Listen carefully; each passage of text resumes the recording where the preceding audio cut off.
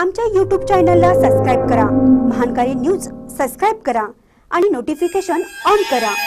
Notification on केल्यामुळे आमचे update आपल्यापर्यंत सतत पोहोचेल. प्रत्येकानं किमान आपला परिसर स्वच्छ ठेवा. संत गाडगे बाबा पंतप्रधान मोदी यांच्या स्वप्नातला भारत दिसेल. प्रत्येकानं किमान आपला परिसर स्वच्छ ठेवला तर संत गाडगे बाबा आणि पंतप्रधान मोदी यांच्या स्वप्नातला स्वच्छ भारत दिसेल असं मत खंडेराव हेरवाडे यांनी व्यक्त केलं.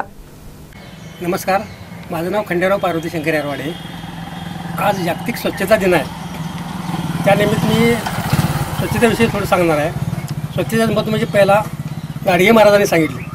गाडगे महाराज कुठल्याही गावी गेले तर पहिला ते गाव स्वच्छ करून तिथं ते संध्याकाळी कीर्तन घेऊन प्रबोधनाचं काम करत होते. आता नरेंद्र मोदींनी बघून स्वच्छते स्वच्छतेचे महत्त्व सांगत आहेत.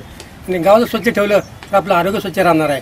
आणि सर्वांनी जास्तीत जास्त करून स्वच्छतेसाठी प्रत्येकाने श्रम के हे के केलं पाहिजे.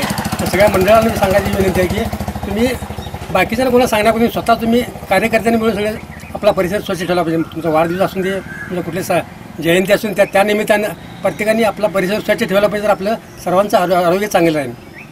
म्हणजे थोडक्यात एवढंच सांगायचं आहे. प्रत्येकाने आपापला दरवाजा जरी स्वच्छ ठेवला. आपल्या घराचं परिसर जरी स्वच्छ ठेवलं तरी सुद्धा जगातली स्वच्छता निर्माण होईल एवढंच तुम्हाला सांगायचं आहे. कुठलं तुम्हाला म्हणजे रोग कुठलं होणार नाही स्वच्छतेमुळं.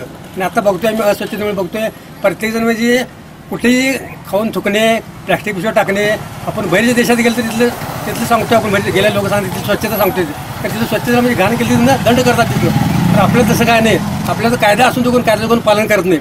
कुठं वाटेल तिथं थुकणे म्हणा तर केळा केळा साली टाक टाकले का प्लॅस्टिक पिशव्या टाकले त्यामुळे आता रोगरे वाढले.